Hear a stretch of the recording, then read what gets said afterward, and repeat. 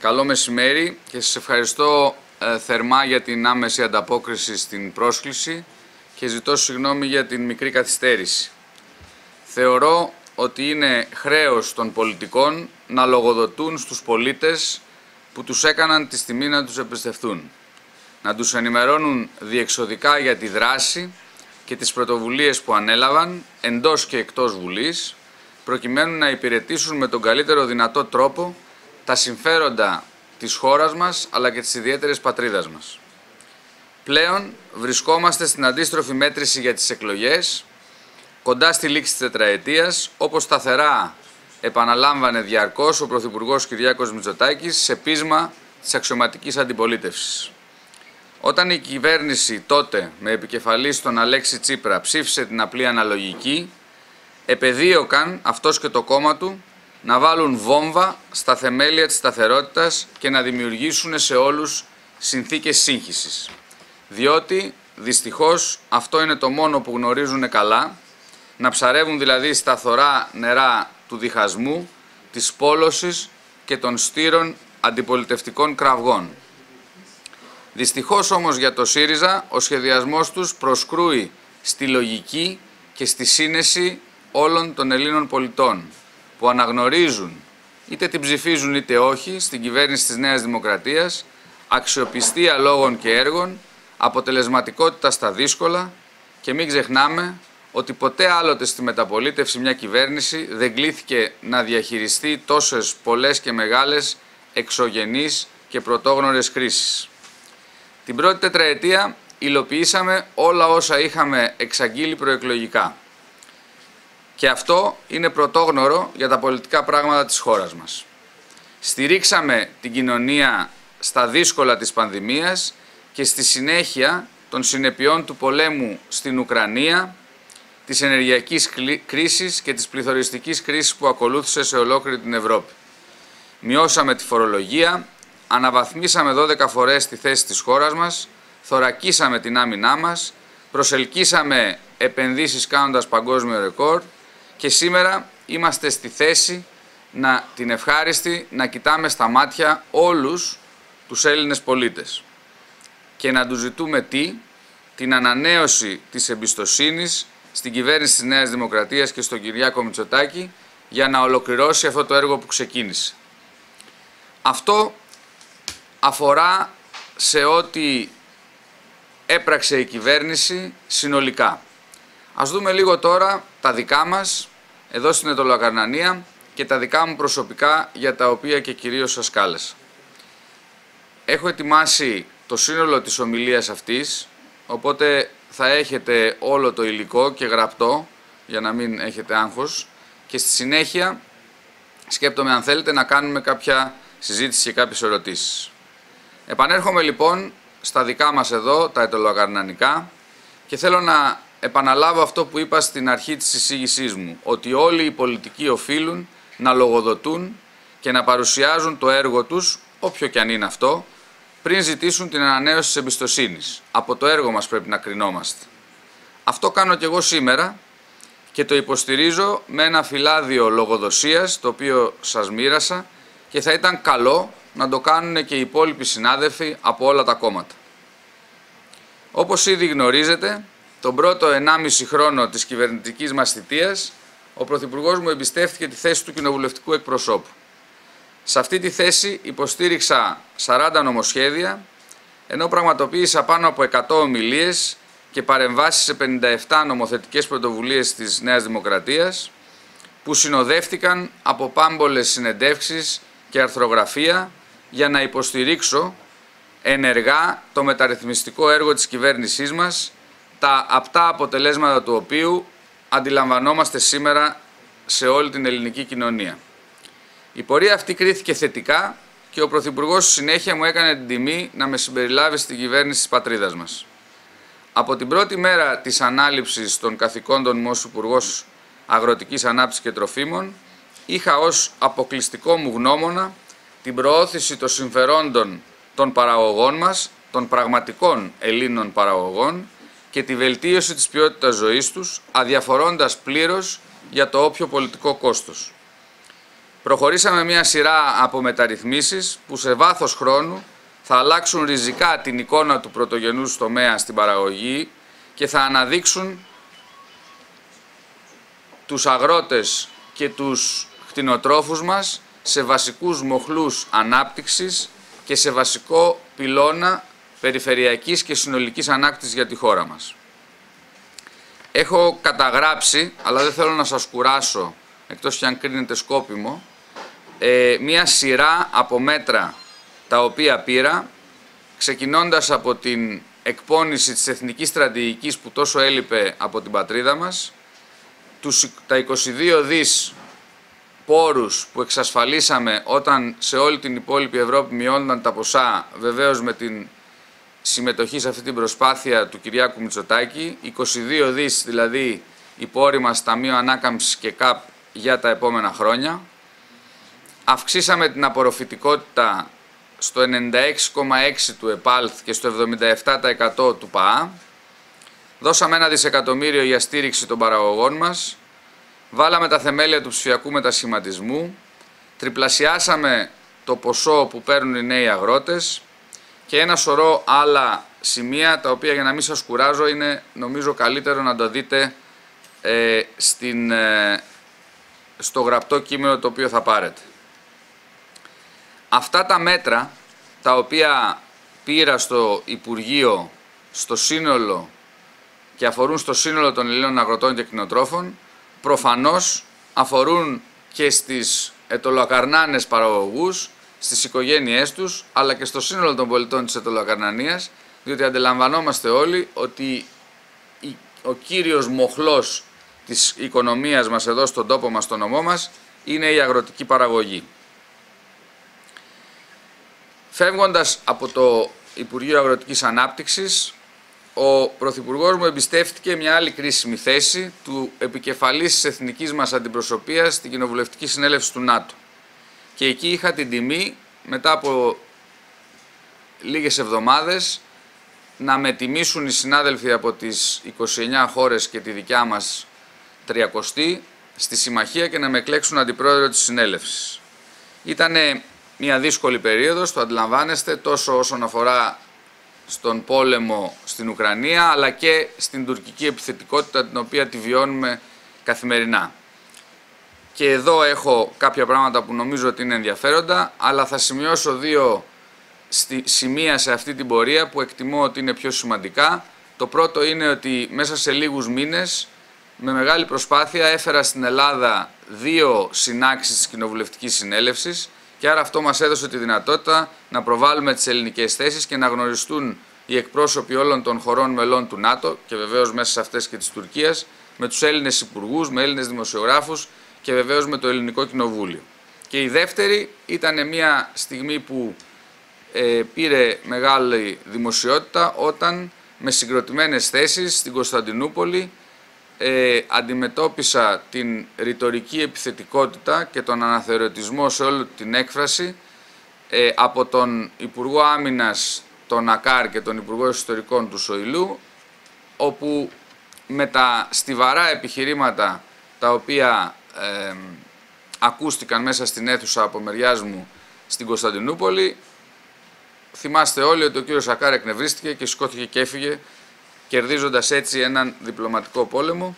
Σε συνέχεια μιας αντίστοιχης ε, περίπτωσης τέτοιας, όπου ο Υπουργός Εξωτερικών, σε ένα άλλο επίπεδο βέβαια εκείνος, είχε κάνει αντίστοιχες δηλώσεις στην Τουρκία. Καθ' όλη τη διάρκεια αυτής της πορείας και στα τρία ε, σημεία αυτά ως κοινοβουλευτικός εκπρόσωπος, ως υπουργός και ως εκπρόσωπος στο ΝΑΤΟ καθημερινά και με ιδιαίτερη αγωνία ασχολήθηκα με τα προβλήματα του τόπου μας, της Ετωλακαρνανίας. Με πολλές, οφείλω να ομολογήσω, τόσο προσωπικές όσο και οικογενειακές θυσίες, χρόνου κυρίως, προσπάθησα να βρω λύσεις στήριξης και βοήθειας των συμπολιτών μας και ταυτόχρονα, και αυτό για μένα είναι το πιο σημαντικό, με έργα υποδομής και διάρκειας, με τη ματιά κυρίως στραμμένη στο μέλλον, για να μπορέσουμε επιτέλους να αλλάξουμε τη μοίρα μας και κυρίως το πολιτικό πρότυπο στην περιοχή μας, αλλά και τις θέσεις μας στην ανάπτυξη που είμαστε ουραγοί. Το σημειώνω αυτό διότι εκτιμώ ότι πρέπει να αλλάξουμε τον τρόπο που γίνεται η πολιτική στον τόπο μας, να ξεφύγουμε από τα μικρά και τα ψεύτικα και να αντιμετωπίσουμε τα μεγάλα που θα αλλάξουν τη μοίρα και για τα παιδιά μας. Έβαλα, πιστεύω, ένα σημαντικό λιθαράκι σε αυτή την τετραετία για να αναδιοργανώσουμε τον πρωτογενή τομέα στην Ετωλακαρνανία και προσπάθησα να βοηθήσω ουσιαστικά όλους τους πολίτες να καταλάβουν τις μεγάλες δυνατότητες που έχουμε σε χρηματοδοτήσεις για την μεταποίηση των προϊόντων μας. Στόχος μου από εδώ και μπρος είναι να συνεχίσω και την επόμενη τετραετία να συνεργάζομαι με αγρότες, με κτηνοτρόφους, με ομάδες παραγωγών, με τις ενώσεις μας, με τα ΤΟΕΒ, με το ΓΟΕΒ, με τους Δήμους, με την Περιφέρεια, ώστε να πετύχουμε μεγαλύτερους ρυθμούς στην αγροτική μας ανάπτυξη και αυτό θα το κάνω από όποιο μετερίζει βρεθώ μετεκλογικά. Επιδίωξή μου επίσης για την επόμενη τετραετία είναι να συνδέσω αυτή τη δουλειά που έκανα για την αγροτική ανάπτυξη με τον τουρισμό και τις εξαγωγές. Και νομίζω ότι αυτό είναι το μεγάλο στίχημα για την επιχειρηματικότητα και την ανάπτυξη στην περιοχή μας. Αυτό, φίλες και φίλοι, είναι το όραμά μου για την επόμενη θητεία μου και αν οι συμπολίτες μας με τιμήσουν και με εκπλέξουν ως εκπρόσωπό τους, αυτή είναι και η ατζέντα με την οποία θα κινηθώ στα επόμενα χρόνια.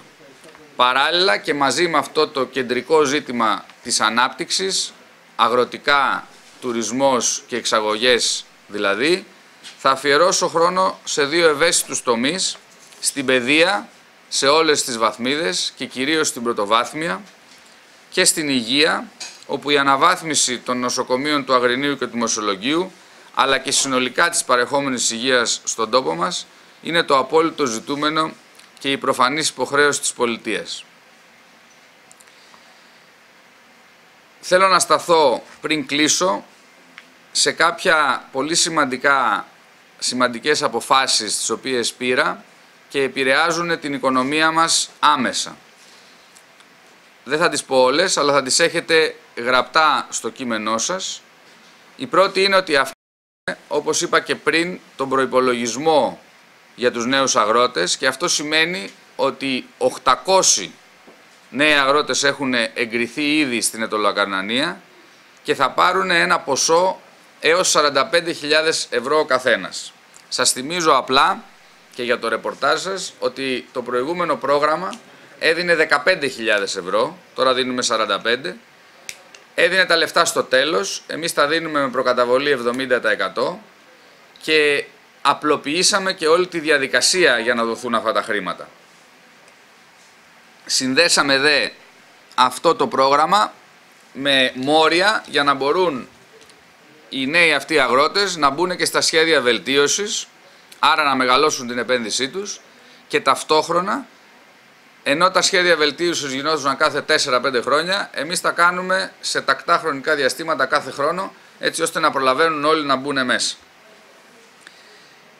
Το δεύτερο που θέλω να τονίσω ιδιαίτερα είναι η συνεργασία μας, η εξαιρετική συνεργασία μας με τον Νεκτάριο Φαρμάκη προσωπικά, αλλά και με το σύνολο της Περιφέρειας Δυτικής Ελλάδας, όπου εκπονήσαμε μαζί ένα μεγάλο ε, έργο, αυτό της δημιουργίας του μεγαλύτερου πάρκου, ενεργειακού πάρκου στην Ελλάδα, όπου μετά τη σύλληψη και την οργάνωση, με απόφασή μου παραχωρήθηκαν στην περιφέρεια Δυτικής Ελλάδας 1.300 στρέμματα γης, με μεγάλο πολιτικό κόστος και αυτό από πολλούς που γκρινιάζουν, για να μπορέσουμε εκεί να υλοποιήσουμε αυτήν την μεγάλη επένδυση θα είναι περίπου 90 εκατομμυρίων ευρώ. Το υπόλοιπο κομμάτι πλέον είναι στα χέρια του Περιφερειάρχη και αντιλαμβάνεστε πόσο θα ευνοηθούν και τα ΤΟΕΒ μας και οι Δήμοι μας, αλλά κυρίως οι αγρότες που θα μειωθεί πάρα πολύ το κόστος ενέργειάς τους. Ένα άλλο που θέλω να τονίσω ιδιαίτερα έργο, που αισθάνομαι περήφανος που δούλεψα γι' αυτό, είναι η εξασφάλιση περίπου 22 εκατομμυρίων ευρώ για τον καθαρισμό της λιμνοθάλασσας του Μεσολογγίου Ετωλικού. Αυτό είναι ένα τεράστιο έργο για τη Λιμνοθάλασσα, το οποίο εν πρώτης θα διπλασιάσει το εισόδημα των αλλιέων στην περιοχή, αλλά κυρίως, και και για τις επόμενες γενιές θα καθαρίσει τη λιμνοθάλασσα που λόγω του καιρού και των χωμάτων και των φερτών υλικών έχει μπλοκαριστεί και δεν υπάρχει ανανέωση των νερών. Ένα άλλο σημείο το οποίο νομίζω ήταν σημαντικό και καμβικό σε αυτή την πορεία ήταν η εξασφάλιση της στήριξης των ελαιοπαραγωγών μας. Σας θυμίζω ότι στην Ετωλοκαρανία παράγουμε το 45% της ελιάς καλαμών και βέβαια έχουμε και τις άλλες επιτραπέζιες ελιές όπως την ελιά αγρινίου. 45% της πανελλαδικής, 47% μάλλον, της πανελλαδικής παραγωγής. Εκεί λοιπόν δεν είχαν πάρει στήριξη οι αγρότες μας και δώσαμε 70 ευρώ το στρέμμα στην ελιά καλαμών σε χιλιάδες, περίπου 9.000 αγρότες της Ετωλοκαρνανίας και 40 ευρώ το στρέμμα στους παραγωγούς επιτραπέζιας ελιάς αγρινίου για να μπορέσουν να αντιμετωπίσουν τα προβλήματα και να συνεχίσουν την καλλιέργειά τους.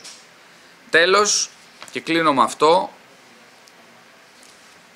ίσως το πιο σημαντικό έργο που θεωρώ ότι επιτέλεσε σε αυτόν τον ένα χρόνο στο Υπουργείο, συνολικά για τους αγρότες της Ελλάδας, αλλά και ειδικά για μας, είναι το εμβληματικό έργο των υποδομών στην αγροτική παραγωγή, δηλαδή τα αρδευτικά μας συστήματα και οι ταμιευτήρες νερού. Αυτό το οραματίστηκα και το διαμορφώσαμε στο Υπουργείο με μεγάλη ομάδα συνεργατών, καθηγητών και τεχνοκρατών.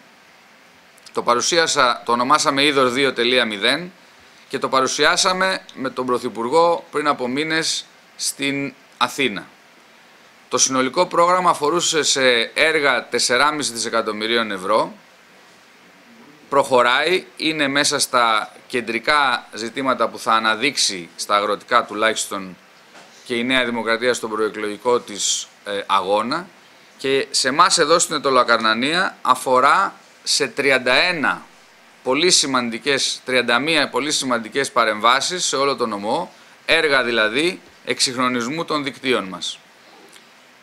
Το συνολικό budget, ο συνολικός προϋπολογισμός για την Ετωλακαρνανία είναι κοντά στα 250 εκατομμύρια, τα οποία είναι κατοχυρωμένα συγκεκριμένα στη Γενική Γραμματεία Πόρων στο Υπουργείο Αγροτικής Ανάπτυξης και είναι εκεί για να γίνουν αυτά τα έργα.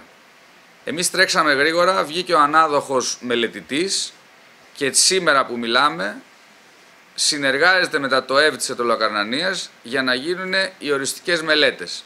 Εμείς κάναμε τότε στο Υπουργείο τις προμελέτες με τις οποίες εξασφαλίσαμε τους πόρους και τώρα οριστικοποιούνται οι μελέτες μέσα στους μήνες που διανύουμε για να ολοκληρωθούν τα έργα που ξαναλέω τα λεφτά υπάρχουν. Στη διάρκεια αυτής της προεκλογικής εκστρατείας, ξεκίνησα ήδη από την προηγούμενη εβδομάδα, ε, επικοινωνώ με τους πολίτες Ανατοεύ, σήμερα θα είμαστε στη Χάλκια το απόγευμα, χθες το κάναμε στο καινούριο, όπου έρχονται ε, σειραίων πολλοί αγρότες, οι οποίοι ενδιαφέρονται για να καταλάβουν τι ακριβώς έχει γίνει και τι θα γίνει. Και είναι ένα από τα σημαντικότερα έργα που έχει γίνει στον τόπο μας. Σας παρουσίασα και εύχομαι να μην σας κούρασα πολύ, όσο πιο επιγραμματικά μπορούσα τις σημαντικότερες πρωτοβουλίες που ανέλαβα στη διάρκεια αυτής της τετραετίας από τις θέσεις που μου εμπιστεύτηκε ο Πρωθυπουργός. Και βέβαια σας είπα πως σε κάθε λεπτό αυτής της πορείας αγωνία μου και στόχος μου είναι ήταν να στηρίξω τα συμφέροντα των συμπολιτών μας στην Ετωλακαρνανία. Πιστεύω λοιπόν και νομίζω ότι αυτό έχει γίνει κατανοητό σε εσάς τουλάχιστον στην πολιτική του έργου, της προσπάθειας και του αποτελέσματος. Όχι των δημοσίων σχέσεων, των ψεύτικων χειραψιών και των εύκολων υποσχέσεων χωρίς κανένα περιεχόμενο. Ολοκληρώνοντας το έργο της κυβερνητικής θητείας, και πιστοί στη δέσμευση της εξάντλησης της τετραετίας, είναι σημαντικό να διατηρήσουμε όλη τη σταθερή και ανωδική αναπτυξιακή πορεία της χώρας και από την πλευρά μου δεσμεύομαι να συνεχίσω να δίνω τον καλύτερο εαυτό μου για μια ετωλογαρνανία πιο δυνατή, πρωταγωνίστρια από εκεί που είμαστε ουραγοί, με πολίτες περήφανους που να γυρίσουν στον τόπο τους για μια αξιοπρεπή δουλειά και ζωή. Ταυτόχρονα θέλω με την στήριξη τη δική σας των συμπολιτών μας να μπορέσω να συνεισφέρω στην πρόοδο συνολικά της πατρίδας μας και βεβαίως σε όλα τα ζητήματα της εθνικής μας ασφάλειας. Και γι' αυτό θεωρώ το ρόλο μου ως ένα ρόλο εργατικού βουλευτού περιφερειακού νομού, αλλά όχι μόνο ως βουλευτού περιφέρειας. εκτιμώ ότι ο ρόλος μου πρέπει να είναι ένας αγώνας, ένας ρόλος αγώνα πολυεπίπεδου, από όπου και κυρίως εκεί που επιτάσσουν τα συμφέροντα και της ετωλοκρανίας αλλά και του τόπου. Αυτή είναι η δική μου προσέγγιση στην, ε, στη λογοδοσία μου απέναντι σε εσάς για την τετραετία και συγκροτημένα και επιγραμματικά το όνειρό μου και οι προθέσεις μου για την επόμενη τετραετία. Σας ευχαριστώ λοιπόν για την υπομονή και αν έχετε κάποια ή κάποιες ερωτήσεις είμαι στη διάθεσή σας. Λοιπόν, κάτσε να δούμε πόσοι είμαστε. Παντελής, Στέισι, Βάσο, άλλος. Ωραία. Λοιπόν, να ξεκινήσουμε από σένα, Βάσο. Ε, Εσύ είσαι κύριος, έτσι. Είναι εύστοχος ο Παντελής πάντα. Ναι. Ε, εγώ θα πάρω αφορμή από αυτό που είπατε για την υγεία νωρίτερα και για τα νοσοκομεία και για τον αγώνα που θα κάνετε κτλ. Αλλά βλέπουμε αυτή τη στιγμή ότι και τα δύο νοσοκομεία έχουν ελλείψεις, και το Αγρινίου και του Μεσολογίου και έχουν τα προβλήματά τους. Και του Μεσολογίου μάλλον βρίσκεται σε χειρότερη θέση, καθώς δεν έχει, κα- οι οι κλινικές είναι υποστελεχωμένες έως καθόλου στελεχωμένες, οι μονίες ειδικότητες, πολλές από αυτές δεν υπάρχουν. Ε, είναι πάρα πολύ υποβαθμισμένο και επίσης τώρα με, το, με την καινούργια αυτή τροποποίηση που δεν θα εκπροσωπείται κιόλας στο Διοικητικό Συμβούλιο θα είναι πολύ πιο δύσκολη η θέση του. Ε, όλο αυτό το διάστημα, μάλλον, ή τουλάχιστον αυτό λέει ο κόσμος και στην κινητοποίησή του, η κυβέρνηση δεν έκανε και πολλά πράγματα για να το στελεχώσει και να το βοηθήσει. Εσείς πώς το βλέπετε αυτό, τι λέτε γι' αυτό; Καταρχήν, να πω με απόλυτη ειλικρίνεια ότι ακροθυγώς έθιξα τις μεγάλες επιτυχίες της κυβέρνησης συνολικά στην εθνική μας πολιτική και νομίζω οι πιο σημαντικές είναι στην οικονομία, στα εθνικά μας θέματα και στην, ε, στην ασφάλεια και στην ε, ψηφιοποίηση του κράτους. Θεωρώ ότι η δεύτερη τετραετία και νομίζω ότι σιγά σιγά ακούγεται και τα χείλη του ίδιου του Πρωθυπουργού θα είναι μια τετραετία όπου αυτές οι επιτυχίες και κυρίως της οικονομίας θα επιμεριστούν στους πολίτες άρα θα έχουμε αυξήσεις μισθών στο δημόσιο και στον ιδιωτικό τομέα και θα γίνει μεγαλύτερη επένδυση άρα αυτό έχει και ένα κομμάτι αυτοκριτικής για την κυβέρνησή μας στους χώρους της δημόσιας υγείας και στη δημόσια παιδεία. Για να έρθω λοιπόν τώρα στην ερώτησή σας, νομίζω ότι πράγματι έγινε αρκετή δουλειά στη διάρκεια του κορονοϊού για να ενισχυθούν τα νοσοκομεία της χώρας. Αυξήθηκαν πάρα πολύ οι κλίνες των ΜΕΘ. Είδαμε όμως και ιδιαίτερα εδώ στο Αγρίνιο το πόσο μεγάλα είναι τα προβλήματα τελικά στη λειτουργία αυτών των νοσοκομείων αλλά και των ίδιων των μονάδων εντατικής θεραπείας. Δεν υπάρχει καμία αμφιβολία και καλό είναι να μην κρύβεται κανείς στο δάχτυλό του ότι υπάρχουν χρόνιες παθογένειες στα νοσοκομεία και κυρίως στο νοσοκομείο έτσι όπως το αντιλαμβανόμαστε ως ενιαίο, όχι τόσο πολύ στα κέντρα υγείας στο νομό μας και αυτές πρέπει από κάπου να αρχίσουν να διορθώνονται. Εγώ κάνοντας ε, την αυτοκριτική μου, θεωρώ ότι θα μπορούσα να έχω ασχοληθεί περισσότερο με τα ζητήματα της υγείας, αλλά πρώτον ο όγκος της δουλειάς μου στους άλλους τομείς που είχα την ευθύνη μου δεν μου το επέτρεψε. Δεύτερον, επειδή πολλοί ασχολούνται εδώ και πολλά χρόνια με αυτούς τους τομείς, σε όλα τα επίπεδα, και επειδή βλέπω αυτές τις παθογένειες και τα προβλήματα που έρχονται από το παρελθόν, από όλες τις κυβερνήσεις, δεν, και δεν είναι και το αντικείμενό μου, δεν ασχολήθηκα τόσο πολύ. Όμως, οι θέσεις μου είναι απόλυτες και καθαρές. Πρώτον, πιστεύω συνολικά, και αυτό το έχω εκφράσει και στη Βουλή και ως κοινοβουλευτικός εκπρόσωπος, στην ε, απόλυτη υποχρέωση της πολιτείας για δημόσια υγεία και πιστεύω απόλυτα στην αναβάθμιση του ΕΣΥ. Σε αυτό το πλαίσιο, ο νομός μας έχει τις δύο και θεωρώ ότι οι δύο εγκαταστάσεις των νοσοκομείων στο Αγρίνιο και στο Μεσολόγγι, που σε επίπεδο κτηριακό είναι εξαιρετικές, πρέπει να ενισχυθούν σε απόλυτο βαθμό με έμψυχο υλικό και με κάποια μηχανήματα τα οποία εν ήταν σε αχρηστία τα προηγούμενα χρόνια. Ιδιαίτερα στο Μεσολόγγι, όπου βλέπουμε αυτά τα προβλήματα και ορθώς νομίζω έγινε η κινητοποίηση των πολιτών, θα πρέπει η κυβέρνηση να τα αντιμετωπίσει τάχιστα. Στο πλαίσιο αυτό, ο ρόλος ενός βουλευτή δεν είναι αποφασιστικός. Δεν έχουμε δηλαδή, δεν έχω εγώ τη δυνατότητα ή κάποιος άλλος συνάδελφος να πάρει αποφάσεις. Η δουλειά την οποία κάνω το τελευταίο διάστημα που ασχολούμαι πολύ πιο έντονα με τα ζητήματα αυτά είναι να πείσω την κυβέρνηση, τους αρμόδιους υπουργούς, να ενισχύσουν και ως προς αυτό, για να μην σας κουράζω, μπορώ να σας δώσω τις συγκεκριμένες ενέργειες γραπτός, τις έχω βγάλει άλλωστε και στον τύπο, για το τι ζητάμε και πώς μπορούμε να ολοκληρώσουμε γρήγορα την πλήρωση αυτών των θέσεων και στο Μεσολόγγι και στο Αγρίνιο.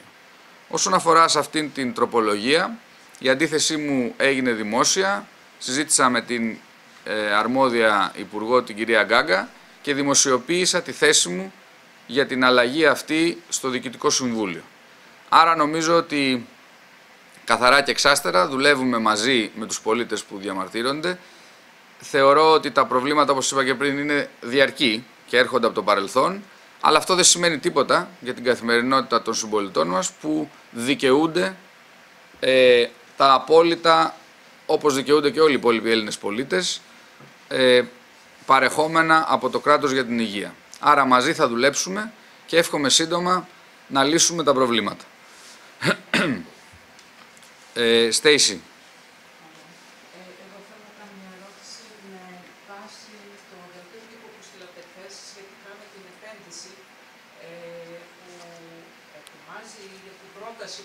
Του Αστακού. Δεν έκανε μια πρόταση για Αστακό ναι.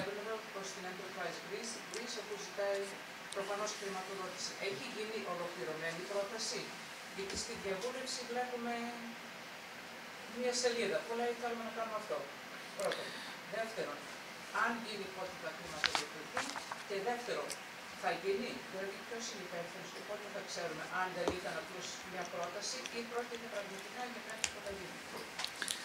Επειδή η ερώτηση είναι ίδια, μπορώ να συμπληρώσω για να απαντήσετε συνολικά. Ναι. Αν μου επιτρέπετε. Ήθελα να προσθέσω τα ερωτήματα το εξής. Ότι ο Πρωθυπουργός πριν από δύο μήνες στην Πάτρα ανέφερε, απαντώντας σε ερώτηση του κ. Σβέρκα, ότι ψάχνουμε να βρούμε επενδυτές για το Πρατιλιάκι και δεν βρίσκουμε. Αναρωτιέμαι από το διάστημα που μεσολάβησε μέχρι σήμερα έχει βρεθεί επενδυτής και αν έχει βρεθεί βέβαια καλοπερχόμενο. Και επίσης να προσθέσω για.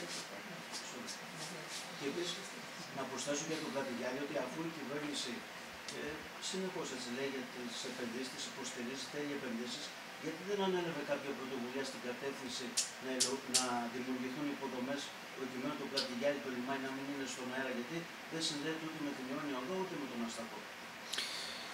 Ωραία. Ε, την ιστορία του Πλατηγιαλιού νομίζω ότι ξέρετε όλοι πολύ καλά. Έχουμε χάσει πολλές ευκαιρίες στο παρελθόν και νομίζω ότι όλοι συμφωνούμε ε, ότι δεν πρέπει να χάσουμε άλλες. Θεωρώ λοιπόν ότι σε αυτήν την τετραετία, επειδή συμμετείχα σε αυτή την προσπάθεια και προσπάθησα να βοηθήσω τον Πρωθυπουργό που το είχε αναλάβει στο πρώτο του, στην πρώτη φάση και προσωπικά, συνομιλώντας με κάποιες μεγάλες εταιρείες από το εξωτερικό, νομίζω ότι δεν καταφέραμε στην πρώτη φάση να πετύχουμε αυτό που θέλαμε. Δεν έχει νόημα αυτή τη στιγμή να μιλάμε για αυτά που αποτύχαμε. Όμως, ευωδόθηκε σταδιακά η προσπάθεια αυτή με τη συγκρότηση ε, μίας εταιρείας στην οποία συμμετέχουν μεγάλα επιχειρηματικά σχήματα και κεφάλαια με στόχο να γίνει η επένδυση η οποία ανακοινώθηκε. Δηλαδή τι, μια ε, μεγάλη ουσιαστικά μαρίνα, ένας λιμένας για ιδιωτικά σκάφη και κυρίως αυτά τα μεγάλα, τα mega yachts που λένε, που είναι, ξεκινάνε από 30 μέτρα αλλά πάνε σε πολλά μέτρα, τα οποία να μπορούν να ελιμενίζονται και από ό,τι έχω αντιληφθεί από αυτά τα οποία έχω ακούσει και έχω διαβάσει αυτούς τους τελευταίους περίπου 20 μήνες που ασχολούμαι και εγώ μαζί με άλλα μέλη της κυβέρνησης με αυτή την επένδυση, θα είναι η μεγαλύτερη ε, μαρίνα τέτοιων σκαφών στην Ευρώπη, στη Μεσόγειο. Αυτό θα διαμορφώσει έναν πόλο ανάπτυξης, ο οποίος θα επεκταθεί και σε τουριστικά καταλήματα και σε τουριστικές κατοικίες και αυτό δεν αναφέρεται σε αυτά τα οποία είδαν το φως της δημοσιότητας, αλλά αντιλαμβάνεστε ότι αυτό θα δημιουργήσει και ε, έναν κύκλο εργασιών, το οποίο θα αφορά και στα θέματα τα κατασκευαστικά και στα υλικά, αλλά θα αφορά και κυρίως, και αυτό είναι για μένα πολύ ουσιαστικό, στην τουριστική ανάπτυξη της περιοχής και βέβαια στην αγροτική ανάπτυξη της περιοχής, γιατί όλα αυτά θα πρέπει από κάπου να υποστηρίζονται. Άρα, κατά τη γνώμη μου, είναι μια πολύ ε, σωστή στρατηγική για το πώς θέλουμε να αναπτύξουμε το πολύπαθο πλατηγιάλι. Υπήρχαν πολλά προβλήματα στην πορεία τα οποία πρέπει να επιληθούν. Ας μην μπούμε σε αυτά τώρα τεχνικά, κάποια, κάποια από εσάς νομίζω τα ξέρετε, έπρεπε να γίνει μια ε, ε, προσπάθεια παραχώρησης των μετοχών, μάλλον εξαγοράς των μετοχών από τις τράπεζες, διότι το λιμάνι δεν ανήκε σε έναν ιδιοκτήτη. Αυτά ολοκληρώθηκαν. Έπρεπε να γίνει ένα business plan το οποίο να μπορεί να πείσει επενδυτές, διότι μιλάμε για, ανακοινώθηκε νομίζω, αν δεν κάνω λάθος, 525 εκατομμύρια. 534 εκατομμύρια. Άρα αντιλαμβάνεστε ότι μιλάμε για πολλά χρήματα. Το business plan να είναι βιώσιμο, γιατί τελείως κανείς δεν πάει από αυτούς να επενδύσουν τα χρήματά τους και έπρεπε να συνεργαστεί το ελληνικό κράτος, δηλαδή τελικά αυτήν την προσπάθεια την ανέλαβε ο αρμόδιος για αυτές τις επενδύσεις αναπληρωτής υπουργός ο Νίκος ο Παπαθανάσης. Βοηθήσαμε, αν θυμάμαι καλά, πέντε ακόμα ε, μέλη της κυβέρνησης, ο καθένας από τον τομέα του, για να μπορέσει να έρθει και να δέσει αυτό το project, αλλά εκείνος ηγείται και ταυτόχρονα βέβαια η ίδια η εταιρεία, η κοινοπραξία αυτή, να λύσει τα νομικά προβλήματα που υπήρχαν με την Ευρωπαϊκή Κοινότητα, την Ευρωπαϊκή Ένωση. Σήμερα αυτό το έργο έχει ολοκληρώσει την πρώτη του φάση, υπάρχει, είναι στο τραπέζι, είναι εφικτό, έχει τη χρηματοδότηση και κατατέθηκε και γι' αυτό βγήκε στη δημοσιότητα στο Enterprise Greece. Θα προχωρήσει γρήγορα και θα υλοποιηθεί. Τώρα, θα ολοκληρωθεί πιο γρήγορα η σύνδεση του Πλατηγιαλιού και του Αστακού με την Ιόνια Οδό επειδή προχωράει η επένδυση. Η απάντηση είναι ναι. Θα έπρεπε να έχουμε ολοκληρώσει αυτή τη σύνδεση νωρίτερα; Η απάντηση είναι πάλι ναι. Όμως, για μένα το ουσιαστικό, με κάθε δόση αυτοκριτικής για το παρελθόν, είναι ότι προχωράμε για να το κάνουμε τώρα. Και, και εκτιμώ ότι το έλεγα και παλιότερα, δεν ξέρω αν το θυμάστε, ότι οι δύο μεγαλύτεροι πλουτοπαραγωγικοί πόροι ανάπτυξης για τον τόπο μας είναι το Πλατιγιάλι και η Τριχονίδα. Το ένα εκ των δύο προχωράει. Εγώ είμαι αισιόδοξος στους επόμενους μήνες. Αυτή ε, τα βήματα θα είναι γοργά και ελπίζω, γιατί με ρωτήσατε αν θα υλοποιηθεί, ότι θα υλοποιηθεί και από τη μεριά μου. Οι επενδυτές υπάρχουν, ναι, και τα χρήματα υπάρχουν. Ε, όπως ξέρετε, ε, δεν υπάρχει επένδυση στον κόσμο η οποία δεν έχει και δανειοδότηση. Έτσι. Αλλά τα χρήματα υπάρχουν, οι επενδυτές υπάρχουν. Ναι, κυρία Λαοπόδη. Ένας χρόνος συμπληρώνεται σήμερα από την εισβολή της Ρωσίας στην Ουκρανία. αυτό συνεπάγεται για την παγκόσμια κοινότητα. Πού βλέπετε να πηγαίνει το πράγμα; Πρώτον. Δεύτερον, σας τρομάζει ή σας προβληματίζει η απειλητική ρητορική της Ρωσίας όσον αφορά τη χρήση πυρηνικών. Τρίτον, θεωρείτε ότι το ΝΑΤΟ πέτυχε το στόχο του με όλες αυτές τις κινήσεις που έχει κάνει. Ποια είναι η συνεργασία της Ελλάδας με το ΝΑΤΟ αυτή την ώρα; Και κάτι τελευταίο, μιας και αναφερθήκατε στο ρόλο που έχετε ως εκπρόσωπος της χώρας στο ΝΑΤΟ, ποιες είναι πλέον οι σχέσεις Τουρκία-Ελλάδο μετά τον καταστροφικό σεισμό και αν σε σπίθουν όλοι αυτοί οι εναγκαλισμοί ή η προσπάθεια προσέγγισης της Τουρκίας στην Ελλάδα μετά τη βοήθεια που προσφέραμε. Ναι, καταρχήν όπως ε, γράφουν και διαλαλούν όλοι οι παγκόσμιοι αναλυτές, κανείς δεν μπορεί να γνωρίζει πότε θα τελειώσουμε με αυτόν τον τραγικό πόλεμο. Αντιλαμβανόμαστε τις δυσκολίες να τελειώσει αυτός ο πόλεμος, καθότι δυστυχώς η Ρωσία έχει πυρηνικά όπλα και πρέπει η Δύση, η οποία είναι ενωμένη σε αυτήν την προσπάθεια στήριξης της Ουκρανίας και της ανεξαρτησίας της, να έχει πάντα στο μυαλό της ότι μπορεί μια μεγαλύτερη εμπλοκή στη, στις μάχες εκεί και στον πόλεμο εκεί να προκαλέσει μεγαλύτερες καταστροφές που θα προέλθουν από τη χρήση πυρηνικών από τη Ρωσία. Το δεύτερο ε, που θέλω να πω πάνω σε αυτά τα ερωτήματα τα πολλά που θέσατε είναι ότι το ΝΑΤΟ ουσιαστικά ξαναγεννήθηκε μέσα από αυτή τη διαδικασία. Ενώ είχε αρχίσει και εξέλιπε στα μάτια πολλών η ανάγκη λειτουργίας της συμμαχίας, δηλαδή να αντιμετωπίσει τους εχθρούς της Ανατολικά, καταλάβαμε όλοι ότι το 2021, το 2022, ο πόλεμος είναι έξω από την πόρτα μας, λίγα χιλιόμετρα από την Ελλάδα και το κέντρο της Ευρώπης.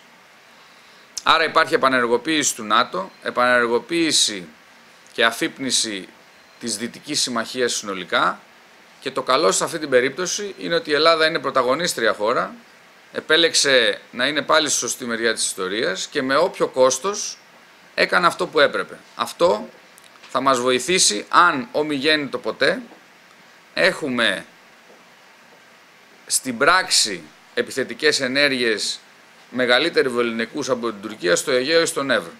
Το γεγονός δηλαδή ότι εμείς έχουμε μια καθαρή θέση και στηρίξαμε ανεπιφύλακτα και πρακτικά και αποτελεσματικά την Αμερική, το ΝΑΤΟ στην προσπάθεια στήριξης μας έχει εξασφαλίσει τη στήριξη όλης της Δυτικής Συμμαχίας σε περίπτωση ε, εμπλοκής με την Τουρκία. Η συνεργασία αυτή τη στιγμή Ελλάδας-ΝΑΤΟ, την οποία ρωτήσατε, είναι στο καλύτερό της σημείο ανά τις εποχές. Δεκαετίες τώρα η σχέση Τουρκίας-ΝΑΤΟ ήταν πολύ πιο σημαντική από τη σχέση Ελλάδας-ΝΑΤΟ. Αυτό έχει απολύτως ανατραπεί. Και αυτό το αντιλαμβανόμαστε. Πάντα για την Δυτική Συμμαχία η θέση γεωγραφική της Τουρκίας είναι πολύ σημαντική. Όμως σήμερα οι μετοχές της Τουρκίας είναι χαμηλότερα από ποτέ και οι μετοχές της Ελλάδας είναι ψηλότερα από ποτέ. Πρώτον μας στηρίζουν, δεύτερον μας ακούνε, τρίτον συνεργαζόμαστε καλά.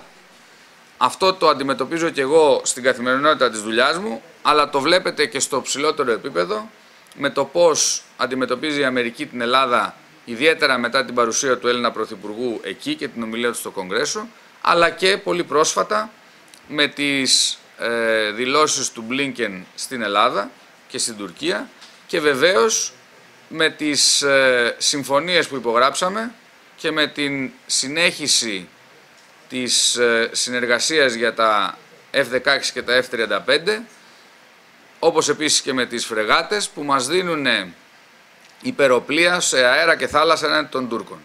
Και αυτό θα συνεχιστεί. Όσον αφορά τώρα τη σχέση μας με την Τουρκία, της Ελλάδας με την Τουρκία, η θέση της Ελλάδας είναι πολύ καθαρή. Εμείς θέλουμε το διάλογο, θέλουμε την Τουρκία μέσα στο ΝΑΤΟ, θέλουμε την Τουρκία όσο πιο κοντά γίνεται στην Ευρωπαϊκή Ένωση. Ίσως είμαστε η μόνη χώρα που είμαστε τόσο πιστοί οπαδοί αυτής της σχέσης της Τουρκίας με την Ευρώπη, αλλά έχουμε τις απόλυτες κόκκινες γραμμές μας, τις οποίες δεν πρόκειται να παραβούμε. Δηλαδή εμείς δεν θα μπούμε σε διάλογο με την Τουρκία για κανένα άλλο θέμα, πλην για τον προσδιορισμό της φαλοκρηπίδας. Άρα σε αυτό το σημείο νομίζω ότι η καθαρή θέση, αυτό που του κύριου Τσίπρα δεν του άρεσε, που μας έλεγε δεδομένους, από τη μια μεριά της Ελλάδας απέναντι στους αναθεωρητές, είτε αυτοί είναι οι Ρώσοι είτε αυτοί είναι οι Τούρκοι.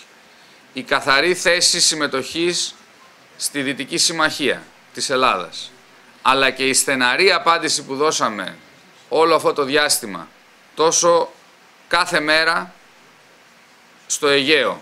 Και θέλω να ευχαριστήσω άλλη μια φορά τους λιμενικούς και τους στρατιωτικούς που κάνουν αυτή τη δουλειά στο Αιγαίο. Αλλά και στον Εύρο, νομίζω ως σκληρή στάση απέναντι στην Τουρκία, νομίζω ότι μας δείχνουν ότι δουλεύουμε στη σωστή κατεύθυνση και έχουμε το πάνω χέρι. Εύχομαι σιγά σιγά και η πλευρά του ΣΥΡΙΖΑ να ενσκύψει σε αυτή τη λογική, να συμφωνήσει ότι αυτή είναι η σωστή πολιτική και να αποσύρει τον κύριο Τζανακόπουλο και τις δηλώσεις του που λέει ότι παραδείγματος χάρη είναι κατά της διεθνούς νομιμότητας το τείχος στον Εύρο. Άλλο ερώτημα. Ναι, Εμίλια.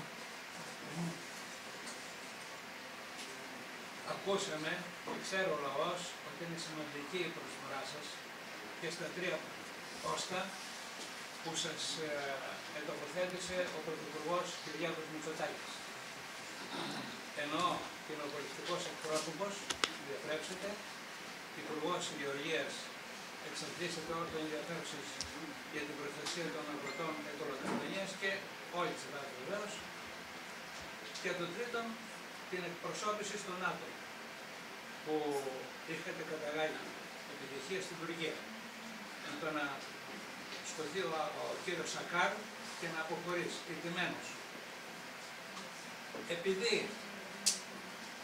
είναι κοινό μυστικό ότι έχετε ιδιαίτερη φιλία και σχέση με τον Πρωθυπουργό μας, θα ήθελα να σας ε, πω δύο ή τρία, τρία μάλλον, θέματα της εντολοκαρνανίας, τα οποία είναι άρρητα. Θα σας παρακαλέσω, γιατί στην προσεχή κυβέρνηση πιστεύω θα είστε και υπουργός και σε καλύτερο υπουργείο ενδεχομένως, αλλά και σε αυτό να είναι στο Υπουργείο, εξαιρετικό είναι. Ε, πρώτον, τι θα γίνει με το Πανεπιστήμιο Αγρινίου; Ιδρύθηκε και φιλορροεί. Η Πάτρα αρπάζει το Πανεπιστήμιο Αγρινίου. Δεν μπορεί όλες οι πόλεις να έχουν πανεπιστημιακές σχολές και η Πελοπόννησο να έχει δύο πανεπιστήμια και το Λακαρνανία ιδρύθηκε το πανεπιστήμιο και το λίστεψε το πανεπιστήμιο. Πρώτον. Δεύτερο, κύριε Υπουργέ, ε, πανεπιστήμιο δεν γίνεται χωρίς αεροδρόμιο. Εδώ έχουμε δύο αεροδρόμια νεκρά. Ένα το παλαιό και το άλλο το νεότερο. Δεν έρχεται ούτε με ούτε ένα αεροταξί. Εδώ είναι 100.000 κόσμος. Δεν μπορεί η ταχύθυρα με, με 7.500 κόσμου να έχει αεροδρόμιο και καλά κάνει να έχουν όλα τα νησά. Αλλά όχι το Αγρίνιο. Γιατί εξαιρείται το Αγρίνιο. Και το τρίτο είναι να ε, αποκατασταθούν ε, τα αρχαιολογικά θέατρα, στράτο, εκεί στο Μεσολόγγι και αλλού. Να λειτουργήσουν επιτέλους και να είναι ένας ε, προορισμός και μια βιτρίνα για την Ελλάδα και να δημιουργηθούν και θέσεις εργασίας. Αυτά τα τρία ευχαριστώ. Ωραία. Καταρχήν ευχαριστώ για τα καλά λόγια. Κατά δεύτερον, θεωρώ ότι μέσα στις, στα σημεία αυτοκριτικής τόσο προσωπικής αλλά και συνολικής και της κυβέρνησης αλλά και του πολιτικού συστήματος είναι και το ζήτημα του Πανεπιστημίου στην Ετωλακαρνανία.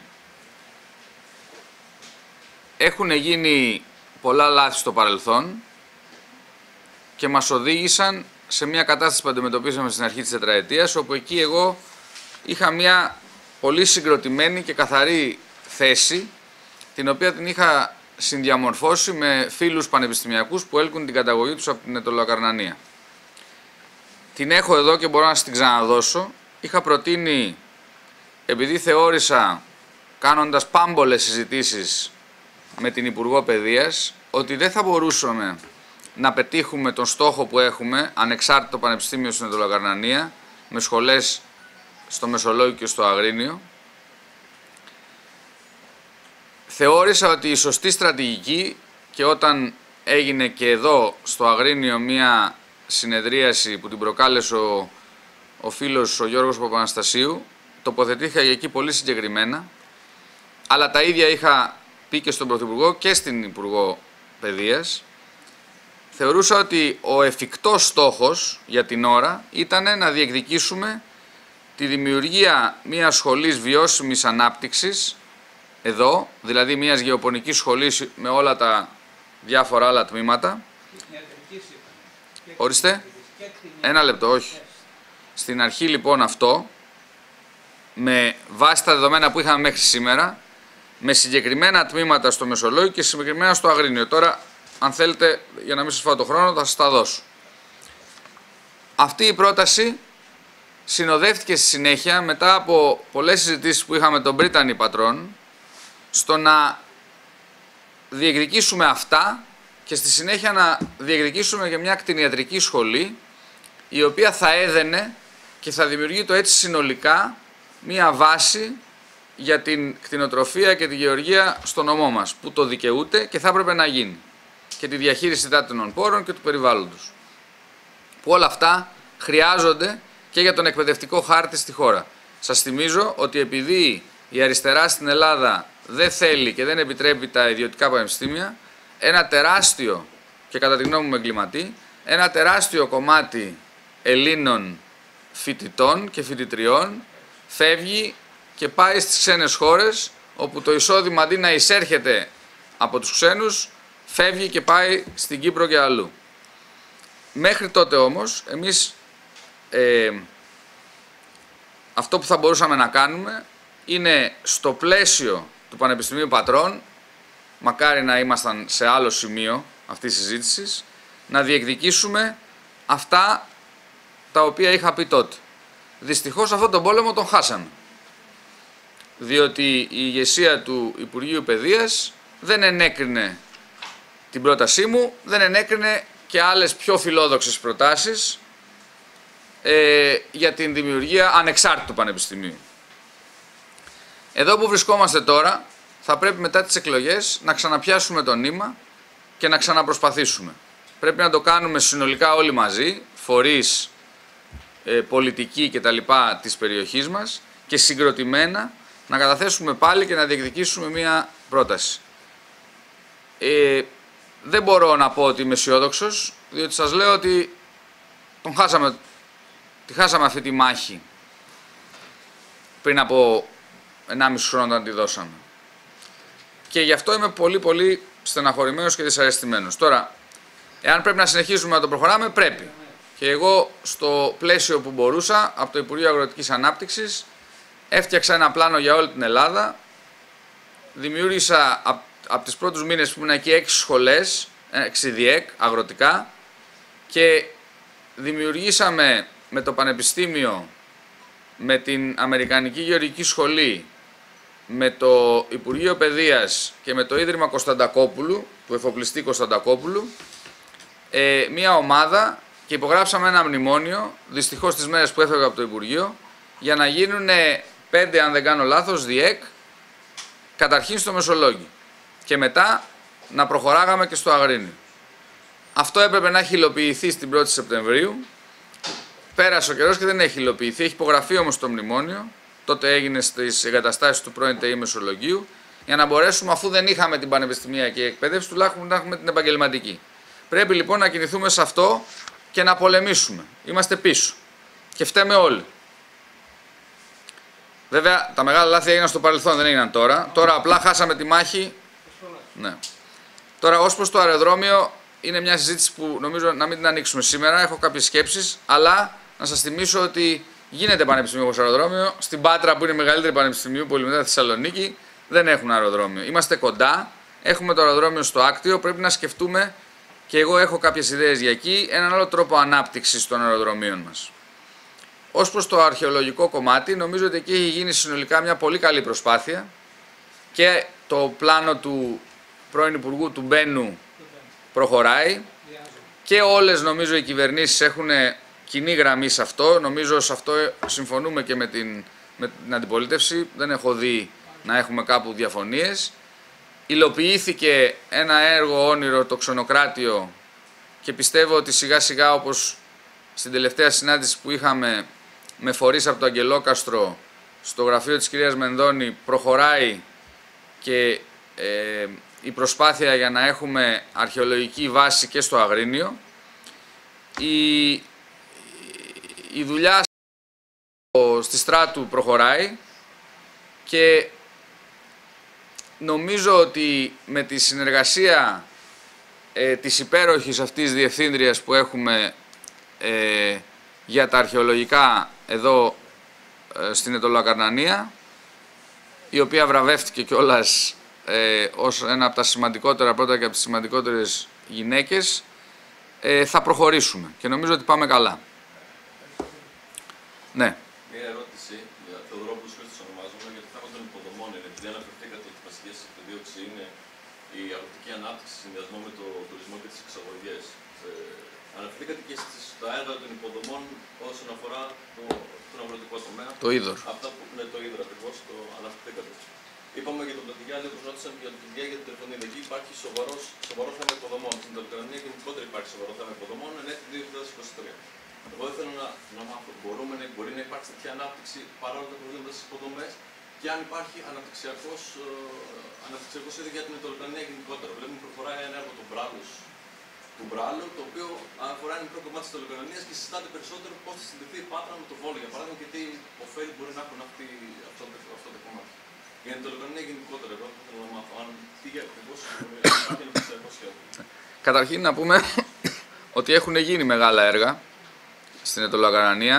Θυμάμαι, ήμουνα βουλευτής τότε μικρός, πριν σταματήσω να πολιτεύομαι το 9, όπου εγκαινιάστηκε από τον τότε Υπουργό, τον Γιώργος Σουφλιά, το πρώτο κομμάτι της Ιόνιας Οδού. Και τότε δεχόταν κριτική η κυβέρνηση του Καραμαλή. Ε, λέει, γιατί κάνεις τέτοια έργα. Σήμερα έχουμε αντιληφθεί τη σημασία αυτών των μεγάλων έργων.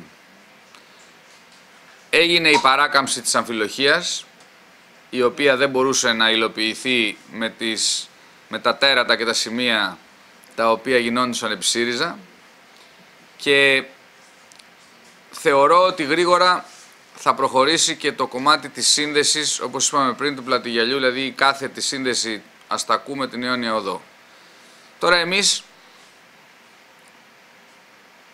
έχουμε κατά βάση σε επίπεδο οδικών αρτηριών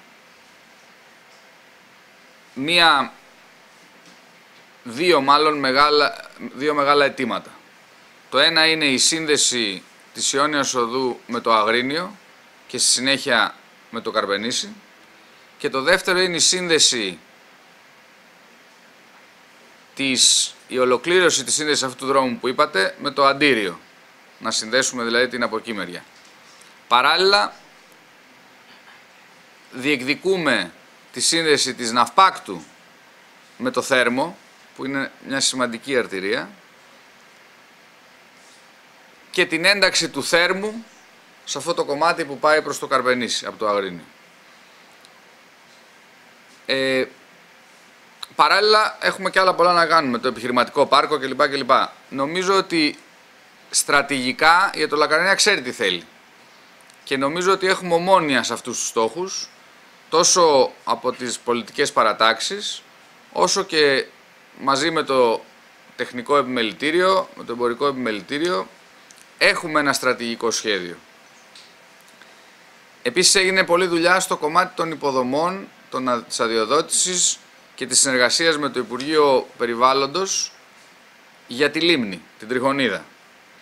Αυτό το οποίο νομίζω ότι πρέπει να υλοποιήσουμε, το είχα πει σε μια αντίστοιχη συνέντευξη τύπου και την προηγούμενη τετραετία, αφορά κυρίως όμως στο πώς θα λειτουργήσουμε συνολικά εδώ, δεν είναι εγώ της κυβέρνησης αυτό.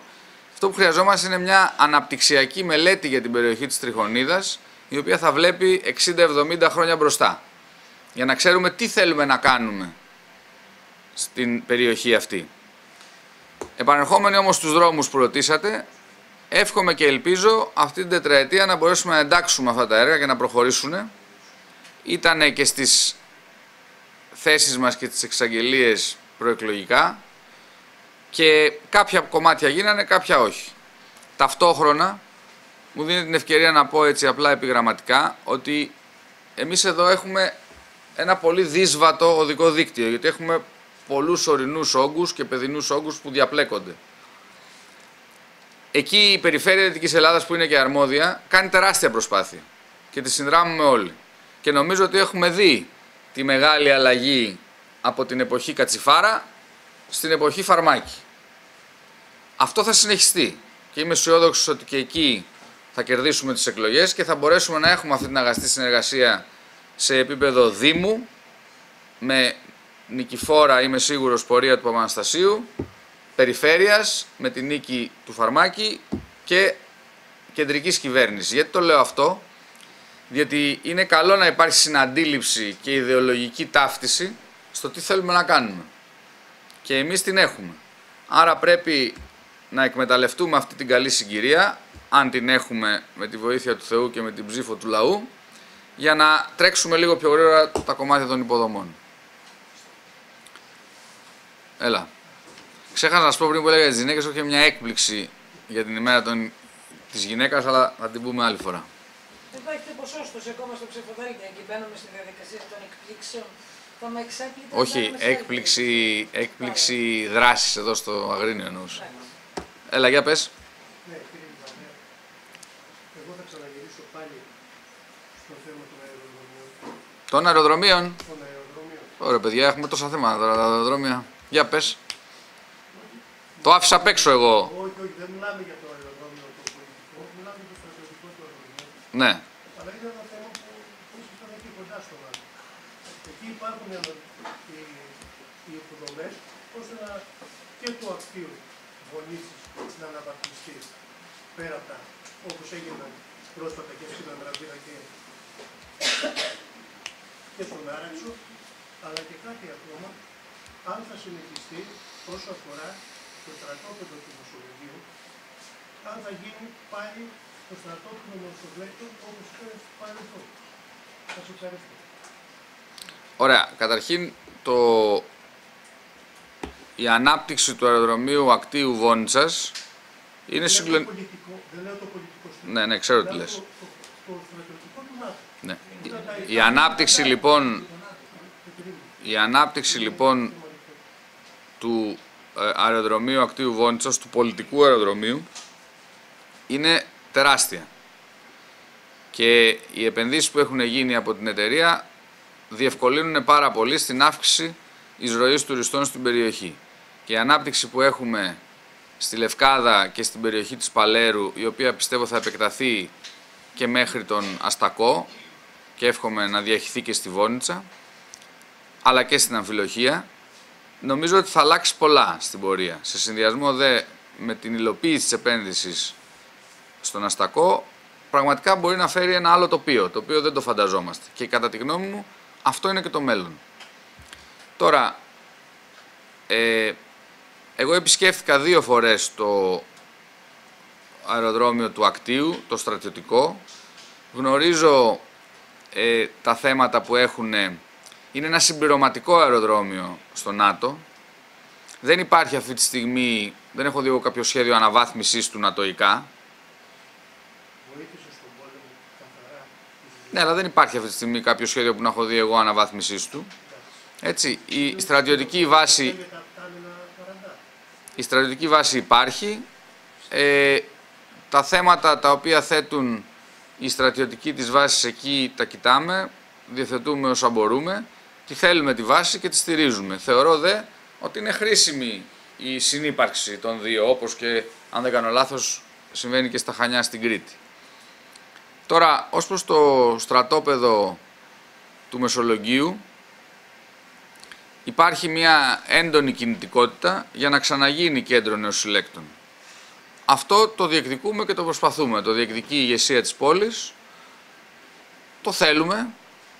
Ε, εγώ θα προτιμούσα, θα το κάνουμε αυτό, ε, ελπι- α- ελπίζω να αλλάξει αυτή η στρατηγική να πηγαίνουν νεοσύλλεκτοι στα σύνορα, οπότε θα γίνει οπωσδήποτε και σε εμάς. Εκτιμώ ότι είναι λάθος αυτές οι ανακοινώσεις που γίνονται και μετά μπλέκονται διάφοροι τοπικοί παράγοντες οι οποίοι νομίζουν ότι μέσα από αυτό θα αποκτήσουν πολιτικό λόγο λέγοντας και μη λέγοντας και κάνοντας κριτική. Δεν θέλω να μπω σε αυτό, γιατί δεν το θεωρώ ουσιώδες. Θεωρώ όμως ότι συνολικά ε, ένα από τα κομμάτια τα οποία τουλάχιστον εγώ έχω κάνει και μια γραπτή εισήγηση είναι να δούμε συνολικά στο Ελληνικό Υπουργείο Άμυνας μεταξύ άλλων το πώς μπορούμε να διαχειριστούμε καλύτερα ε, και τα στρατόπεδά μας ανά την Ελλάδα και το σύνολο της ακίνητης περιουσίας μας. Ελπίζω να είμαστε γεροί και δυνατοί, να έχουμε τη δυνατότητα να κάνουμε ε, στρατηγικές παρεμβάσεις και εκεί, οι οποίες να συμπεριλάβουν και τα δικά μας στρατόπεδα. Και μου δεν μου απαντήσατε για το στρατιωτικό αεροδρόμιο του Αγρινίου. Υπάρχουν να έρθουν περισσότεροι φαντάροι, περισσότερο να αναπτυχθεί. Το στρατιωτικό αεροδρόμιο του Αγρινίου αυτή τη στιγμή λειτουργεί βοηθητικά, αν δεν κάνω λάθος, στον Άραξο. Ναι. Και έχει κάποια, το επισκέφτηκα και αυτό, ε, έχει κάποια πολύ παλιά αεροπλάνα τα οποία δεν μπορούν να χρησιμοποιηθούν ε, και δεν έχω δει κάποια, ε, κάποιο σχέδιο αναβάθμισής του. Ο χώρος αυτός. Άστο, ο χώρος τώρα πάμε σε άλλο κεφάλαιο, το είπε και ο Εμίλιος, Ε, εγώ έχω κάποιες ιδέες, να το δούμε, Δε- δεν έχω να πω κάτι άλλο. Άλλο θέμα, γιατί θέλει να φύγει ο κύριος Κουτσικός, για πες. Ε, βέβαια. Είμαστε υπέρ του δημοκρατικού διαλόγου. Όχι απαραίτητα εγώ. πάμε. Εσείς όχι, εγώ ναι. Λοιπόν, περιοχή της ορ- περιοχή ναυπακτίας. Σε ποιο κομμάτι βρίσκεται η αναπτυξιακή τροχιά της ναυπακτίας, αυτή την ώρα τουλάχιστον, διότι βλέπουμε και τον κύριο Τσούνη να πηγαίνει και να έρχεται και να πηγαίνει και να έρχεται και φαίνεται ότι μπαίνει διαφορετικά στο χάρτη αυτή την ώρα. Ναι. Η ναύπακτος είναι το πιο εξωστρεφές κομμάτι της ετωλογαρανίας. Είναι εκτεθειμένο πολύ περισσότερο ε, στον τουρισμό. Έχει αυτή τη σχέση με τους ομογενείς, η οποία δεν υπάρχει στα άλλα ε, κομμάτια της ετωλογαρανίας. Ο λόγος είναι, έτσι αν θέλουμε να κάνουμε και μια ιστορική κοινωνιολογική προσέγγιση, ότι επειδή η κάμπη του Αγρινίου και του Μεσολογγίου ήταν, ήταν αποδοτική, ο κόσμος δεν έφευγε να πάει να γίνει μετανάστης, ενώ από τα ορεινά της ε, ναυπακτίας ή ας πούμε πάνω από την Τρίπολη, έφυγε πολλοί κόσμος, ο οποίος έκανε λεφτά στο εξωτερικό, γύρισε πίσω και τώρα τα επανεπενδύει. Είναι ανοιχτή στο θαλάσσιο μέτωπο και συνδυάζει ε, αυτό το καταπληκτικό βουνό θάλασσα σε λίγα λεπτά. Άρα έχει μια τρομακτική ανάπτυξη από μόνη της. Τώρα, η προσπάθεια που γίνεται, εγώ δουλεύω πάρα πολύ και πολύ καλά με το Δήμαρχο και το Και με Δημοτικό τον κύριο Πέτσα, Συμβούλιο. Νομίζω επισκεφθήκατε την περιοχή. Ναι. Ό- Όχι την περιοχή, την επισκεφθήκαμε με το Κικίλια. Τον κύριο Πέτσα τον επισκεφθήκαμε στο γραφείο του, αλλά ήταν πιο αποδοτική η επίσκεψη στο γραφείο του, γιατί εξασφαλίσαμε 2 εκατομμύρια ευρώ με την πίεση και τη δικιά μου, για να γίνει μια σπουδαία μελέτη που είναι, έφυγε ο, ο Κώστας που ρώταγε για τα έργα υποδομής, για να, α όχι εκεί είναι, για να, για να δημιουργήσουμε ένα τούνελ κάτω από την Καστροπολιτεία και να αποσυμφορηθεί η Ναύπακτος που είναι μια καταπληκτική Καστροπολιτεία που δεν την έχουμε αναδείξει όσο θα έπρεπε ε, από την κίνηση. Ε, Έχουμε, ξαναλέω, πολύ καλή συνεργασία με το Δήμαρχο και το Δήμο εκεί γιατί δουλεύουμε σε συγκεκριμένα αναπτυξιακά project τα οποία παίρνουν σάρκα και οστά. Όσον αφορά την Καστροπολιτεία, όμως αυτό που λέτε το τούνελ, πού βρισκόμαστε; Αυτό εξασφαλίσαμε λοιπόν τη χρηματοδότηση και τώρα ο στόχος μας είναι να μπορέσουμε να το εντάξουμε στα έργα εθνικής σημασίας. Τα 2 εκατομμύρια εξασφαλισμένα, γιατί είναι μια μεγάλη μελέτη. Μετά θα πρέπει αυτό το έργο να χρηματοδοτηθεί. Οπότε πάμε, εύχομαι την επόμενη τετραετία να το χρηματοδοτήσουμε. Αυτό θα αλλάξει το χάρτη της ναυπάκτου. Συνολικά όμως εκεί μην ξεχνάτε ότι αν δεν κάνω λάθος έχει 70 ξενοδοχειακές μονάδες.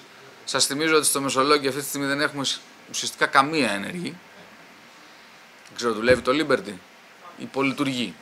Ναι. Σκεφτείτε τώρα, έτσι.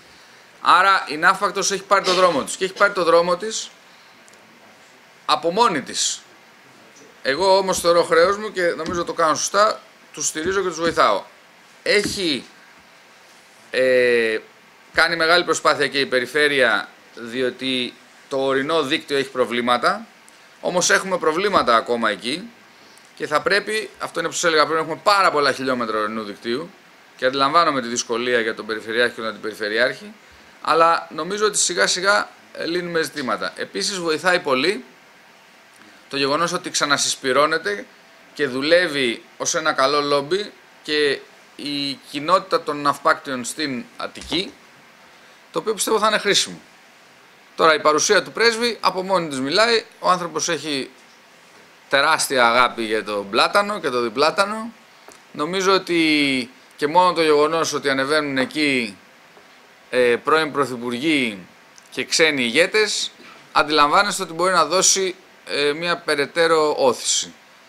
Επειδή οι Αμερικάνοι είναι πιο χαλαροί σε αυτά, ήδη έχω δει ότι με την συνδρομή και του πρέσβη υπάρχει και μεγάλο επιχειρηματικό ενδιαφέρον. Η γνώμη μου είναι ότι το ξενία θα είναι ένα σύμβολο ανάπτυξης. Διαφωνώ κάθετα με την αριστερά στην Αύπακτο που θέλει να το κάνει πολιτιστικό κέντρο. Εγώ πιστεύω ότι πρέπει να γίνει ένα ε, πρώτη τάξης ξενοδοχείο και προς εκεί νομίζω κατευθύνεται και ο Δήμος. Όχι νομίζω, κατευθύνεται και ο Δήμος. Και επίσης προχωράει και η διαδικασία. Έχουν κατευθεί προτάσεις για τους ε, τους χώρους τους εργοταξιακούς της γέφυρας. Άρα υπάρχουν μεγάλα project και τα τρέχουμε. Εύχομαι, φιλοδοξία μου είναι να υπάρξουν μεγάλα project και στο Μεσολόγγι την επόμενη τετραετία να τα τρέξουμε, διότι η δική μου αντίληψη είναι ότι το κομμάτι Μεσολογγίου Ναυπάκτου μπορεί να τρέξει ενιαία. Γιατί οι αποστάσεις για τους τουρίστες είναι μηδενικές. Η γνώμη μου είναι ότι θα μπορούσε να τρέξει ενιαία και το τρίγωνο με το θέρμο και την υποδομή του Αγρινίου και να προσελκύσουμε διαφορετικού τύπου τουρισμό, αλλά αυτή είναι μια συζήτηση που θα ήθελα να την ξεκινήσουμε σιγά σιγά κάποια στιγμή. Θεωρώ ότι, το είπα και πριν, για μένα αυτό το κομμάτι θα είναι ένα από τα πιο σημαντικά με τα οποία θέλω να καταπιαστώ αν με ε, ψηφίσει ως βουλευτής της για το Λαγαρνανία. Από ποια θέση; Από όποια θέση. Όχι, δεν πάει έτσι. Για να υπάρξει στο κάτω-κάτω της γραφής αποτέλεσμα, θα πρέπει αυτός που θέλει να κυνηγήσει αυτό να αναλάβει και ένα Υπουργείο. Ποιο θα ήταν αυτό που θα σας τριγκάριζε για να αναλάβετε. Πριν το Υπουργείο πρέπει να με ψηφίσει ο λαός της Ατελογαρανίας. Τόσο αυτός στην περίπτωση που εκλεγείτε λοιπόν. Εκεί σας λέω ότι αυτά που με ενδιαφέρουν και θα καταπιαστώ, ασχέτως ε, θέσεως τις οποίες, εντάξει τώρα κοινότυπο είναι αυτό, δεν μπορώ να τις ορίσω εγώ, θα τις ορίσω ο Μητσοτάκης. Ε, σας είπα και πριν, είναι ο τουρισμός, είναι η σχέση του με την αγροτική ανάπτυξη που ήταν και κεντρικός πυλώνας μου όταν ήμουν στο Υπουργείο για όλη την Ελλάδα. Είναι τα ζητήματα της παιδείας και της υγείας στο νομό μας Άρα, αν θέλαμε να βάλουμε ένα τρίπτυχο γιατί θα κάνω εγώ στην Εντολογανία το επόμενο διάστημα και τι θα προσπαθήσω να παρασύρω και τους άλλους, είναι ε, ανάπτυξη με αυτούς τους πόλους, υποδομές, παιδεία, υγεία. Σας ευχαριστώ πάρα πολύ.